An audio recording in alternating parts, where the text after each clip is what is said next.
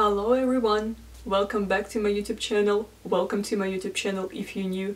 My name is Maria and we are talking about lichen sclerosis. I want to touch this really really sensitive topic for all of us who have lichen sclerosis in the genital area. Today's video topic is educative. It's about what to do if you can't have penetrative sex. Of course, when your affected area is just between labia minora and labia majora, it's not that painful to have sex.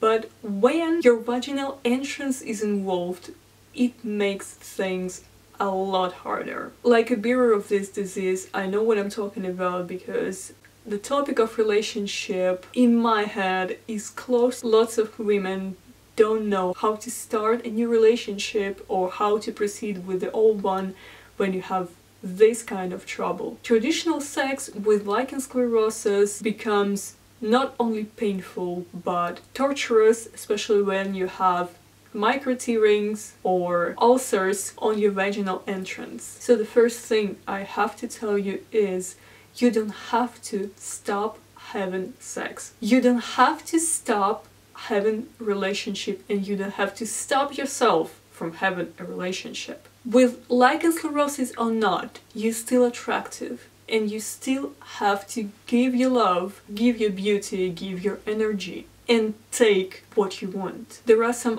other types of intimate closeness that you have to consider for yourself. And please don't be shy. It's the 21st century and love is everywhere and information is literally everywhere in every corner.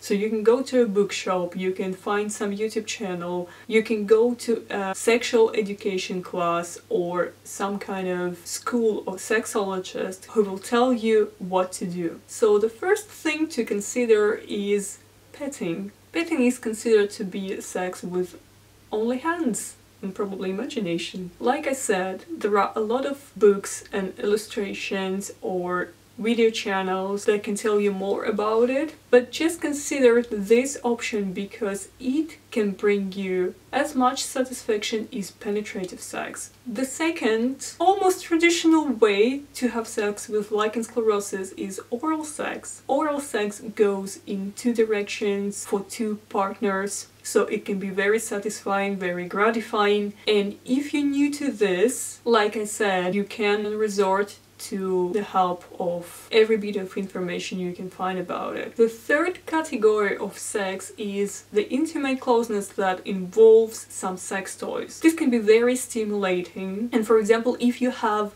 a very very early stage of lichen sclerosis but you still feel the need for the longer foreplay or maybe more lubricant. You can also use sex toys for this. If your stage is not so early i'm so sorry about that but still you can use sex toys for non-penetrative sex and get your satisfaction. If you're still determined to have a penetrative sex having lichen sclerosis, there are some tips from the doctors that can help you. First tip, of course, is to use more lubrication. The more lubrication you use, the smoother the process will go. The second advice from the doctors is to use longer foreplay. The third advice from the doctors is to use a vaginal dilator. It's something that resembles some sex toys, but actually it's a medical purpose thing. It will help you to dilate your vaginal entrance which will make sex not that painful in the future. And of course, use something that will make your skin more elastic like oils or rejuvenation gels or hyaluronic acid shots or whatever. But remember, don't use any oils before having sex because oils can damage the condom or react in an unpredictable way with your lubricant. In conclusion, I want to tell you, this is really hard to have lichen sclerosis.